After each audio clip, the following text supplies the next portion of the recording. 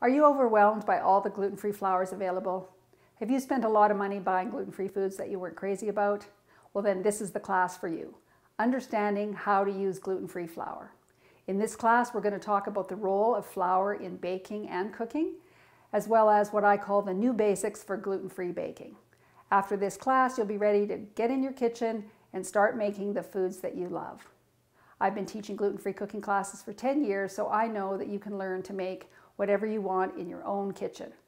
Check out the class calendar below and sign up for a class today. I'm Cindy, the Everyday Gluten-Free Gourmet.